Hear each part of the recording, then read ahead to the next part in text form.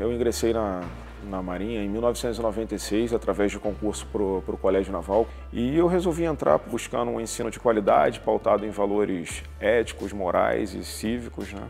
Entregar um filho para a pátria aos 17 anos é muito difícil, porque ele saiu de casa muito novo, né? Porque ele ficou interno, que estudou em, em Angra dos Reis, no Colégio Naval, começou lá, tudo.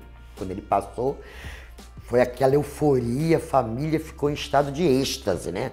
Dele ter passado, que ele passou em 18 lugar, muito bem colocado. Eram mais de 23 mil candidatos no Brasil todo.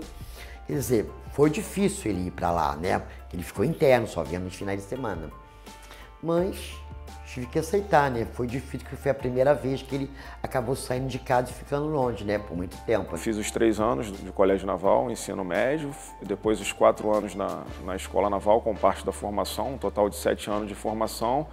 É, fui declarado guarda-marinha em 2002 e após mais um ano de especialização, fui declarado segundo-tenente e comecei a trabalhar nos navios da nossa marinha e trabalhei ao longo de 14 anos a bordo dos nossos navios. É a escolha para seguir a carreira militar, ela, quando eu, eu, escolhi, eu já sabia dos desafios que teria pela frente, das dificuldades, do, do afastamento do lar que seria necessário. No início, quando foi feita a primeira missão, então, foi pior ainda. Agora a gente, assim, com o tempo, a gente até aprende a aceitar, né? A distância, né? A saudade. Mas a gente sabe que ele está fazendo o quê, tá?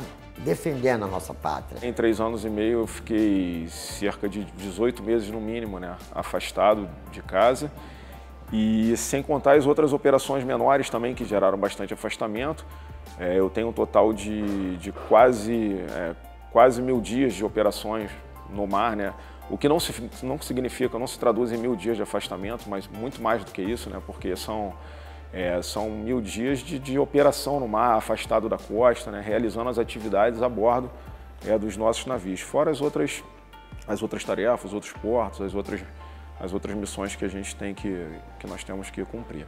Eu perdi vários eventos de, de família, várias celebrações, né, são aqueles álbuns de família que a gente, que a gente nas reuniões de família pega para verificar e nós não estamos na, nas fotos, né, a gente tenta lembrar qual era a operação que, que, que estava, por que, que não estava presente naquela foto ali, naquela, naquela festividade, naquela reunião familiar. Tenho muito orgulho do homem que ele se tornou, muito.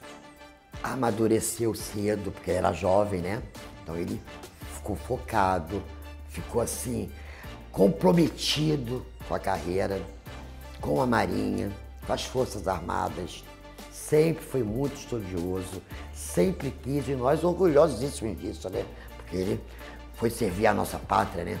Eu tenho como convicção que a carreira militar, né, eu não entendo como uma profissão, né, mas sim como uma, como uma vocação, como um estilo de vida que eu, é, que eu escolhi, é, no qual eu já sabia que, que, que servir a pátria demanda, demanda muita dedicação e que a sociedade espera muito do militar e a gente não pode decepcionar, né? A gente tem que fazer o nosso trabalho com, com muita dedicação, com muito amor e, sobretudo, com o sentimento de servir a pátria, que é algo indescritível, né?